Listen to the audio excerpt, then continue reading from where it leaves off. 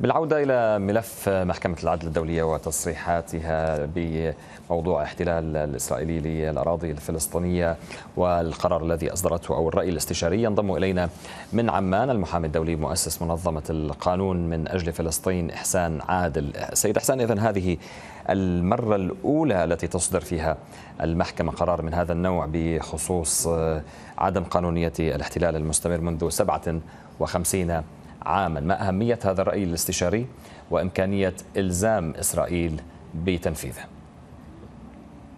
نعم يعني بداية تحية لك ولجميع المشاهدين. آه، طبعا بالتأكيد الأهمية لهذا الرأي الاستشاري هي آه، استثنائية. هذا قرار تاريخي بلا أدنى شك. السبب في أن هذا القرار هو قرار تاريخي ليس فقط أنه يصدر عن أعلى محكمة آه، في العالم أعلى محكمة دولية. والمحكمة المعترف بها على مستوى دولي بأنه قراراتها لها درجة عالية من الاحترام والإلزام. هذا من ناحية. ولكن الأهم هو أنه على مدار 57 عاما منذ بدأ الاحتلال الإسرائيلي للضفة الغربية القدس الشرقية وقطاع غزة كان تعامل الأمم المتحدة والمجتمع الدولي ودول العالم ككل مع هذا الاحتلال يتعلق بشكل جوهري بالممارسات اليومية التي يقوم بها الاحتلال مثل مثلا قتل المدنيين، الحواجز، حصار غزة، كل ما إلى ذلك. ولكن هل هنالك إلزامية لتطبيق هذا القرار فيما يتعلق نعم، خصوصا نعم. بالأمور اليومية التي أشرت إليها؟ سأتناول هذه المسألة لكن فقط أريد التنويه حتى يعني يفهم تماما ما الفرق بالنسبة لهذه الفتوى. اليوم. فعادة هذا ما يتم التعامل معه على مستوى الأمم المتحدة. الآن هذا هذه الفتوى لا تتناول هذه المسائل إنما تتناول أصل وجود الاحتلال. يعني بغض النظر عن ممارسات الاحتلال مجرد وجود إسرائيل في الأراضي الفلسطينية المحتلة هذا الوجود. هل هو وجود قانوني؟ هل يمكن أن يمثل هذا الوجود أن أو يبرر تحت حجة الدفاع عن النفس؟ هل الصيغة التي اعتاد المجتمع الدولي على قولها وهي الوصول إلى حل من خلال المفاوضات، هل هي الطريق الصحيح أم أن الطريق الصحيح هو دعوة إسرائيل إلى الانسحاب الفوري من الأراضي الفلسطينية المحتلة؟ والمحكمة أخذت المنهج الثاني وقالت بأن على إسرائيل الانسحاب بشكل فوري من الأراضي الفلسطينية المحتلة لأن وجودها في هذه الأراضي غير قانوني بغض النظر عن الممارسات، هذه مسألة أخرى. فيما يتعلق بإلزامية هذا نعم. القرار. هذا القرار طبعا هو رأي استشاري. معنى أنه رأي استشاري هو بمثابة فتوى. الفتوى ملزمة للجهة التي طلبتها وهي الجمعية العامة للأمم المتحدة. آه آه هذا يعني أن طب هناك من يقول أنه رغم أنه قرار استشاري إلا أنه قد يكون له تأثير آه، آه، كبير على مسألة المستوطنات غير الشرعية والسياسات الإسرائيلية والدعم الدولي لإسرائيل سواء بالمال والسلاح وما إلى ذلك.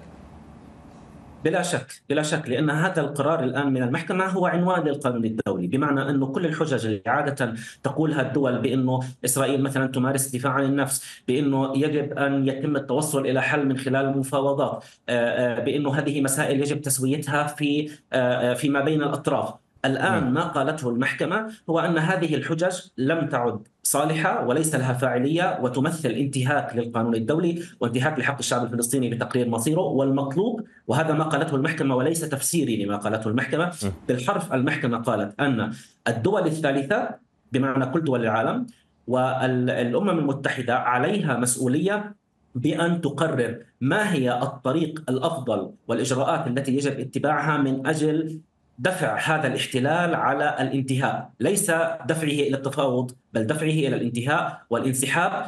وفق مصطلح المحكمة as rapidly as possible يعني بالسرعة الممكنة. لا يمكن قبول المماطلة. طيب ولكن تأثير هذا الرأي الاستشاري على الدول الداعمة تحديدا لإسرائيل هل هو تأثير ملزم بمعنى أنها ستراجع قراراتها وتتخذ قرارا سريعا في إنهاء هذا الدعم أو تخفيفه؟ أم أنه ربما تأثير من ناحية سمعة أو تأثير على تخوفات مستقبلية مثلا على سمعة هذه البلدان؟